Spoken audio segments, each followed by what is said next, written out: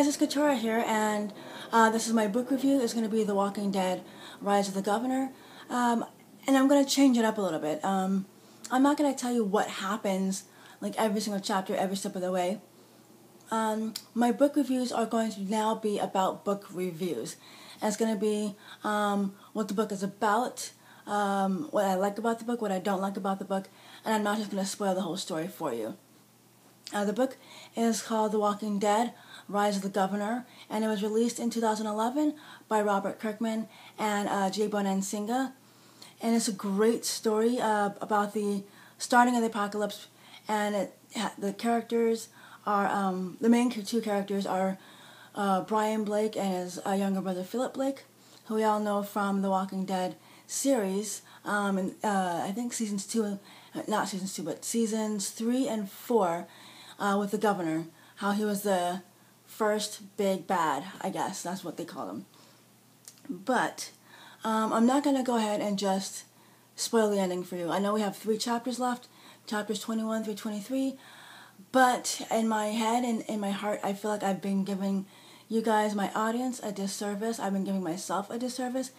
Um, I've also been giving Robert uh, Kirkman and Jay Bonansinga a disservice as well as Amazon by just spoiling the whole book for you guys. So I'm going to reel it back a little bit and just let you guys know you guys should just definitely buy the book. Um, if you've seen the other videos, you know that I enjoy reading it. You know what I like about the book, you know what I don't like about the book.